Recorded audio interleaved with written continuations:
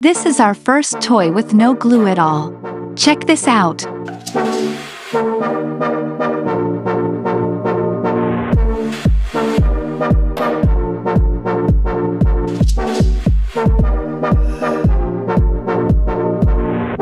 We've been dancing around, can never put our fingers close.